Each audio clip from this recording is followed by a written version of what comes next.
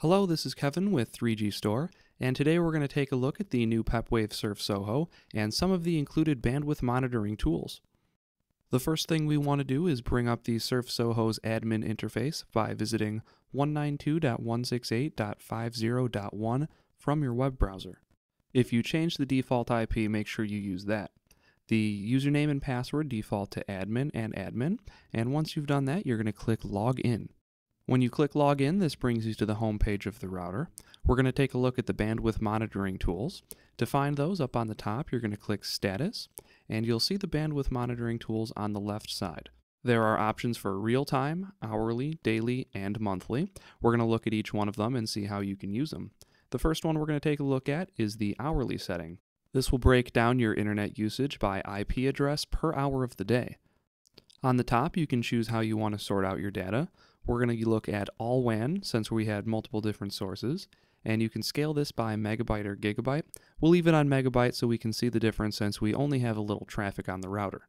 There's a helpful chart that shows the last 24 hours of your usage, and it breaks it down by hour, and you can see a peak usage of 136 megs total. Scrolling down to the bottom here, you can take a look at which hours are available.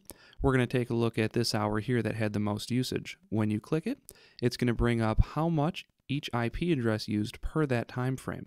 It looks like our top usage came from the address at .50.12.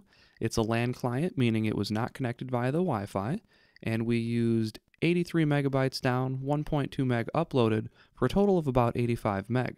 When you hover your mouse over that IP address, it will tell you the name of the device and the MAC address, so that way you can break down and see specifically which devices were using the data. The other way you can sort out this data is going to be daily.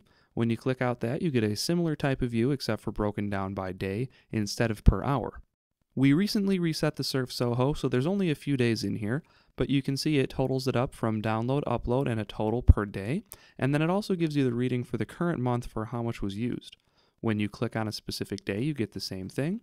You see each IP address, how it was connected, how much was downloaded, uploaded, and the total, plus the device name. The other option you have is monthly, same type of a setup except now you're looking at an even greater time frame, so you can see specifically how much was used per each month. Pulling it up, you get a list of IP addresses, download, upload, and total. Again, we have more devices here because we had more connected over the larger time period. The really interesting bandwidth tool is the real time. When you click it, you get an aggregated transfer, and then you can look at the WAN and USB connection individually. We'll take a look at the aggregated transfer since this is the total of all of our connections. Currently, you can see that there's no internet traffic passing through here, but what I'm going to do is go over to my 3G Store laptop, which is connected, and start a high definition video on YouTube so we can get some data. We're going to give this a couple seconds to give us a little bit of data here. Looks like when we started the video, we got a nice big peak at the start. Uh, that's going to be typical to see, but it's going to level out and give you that average, which is important. So there's our high peak from when we started.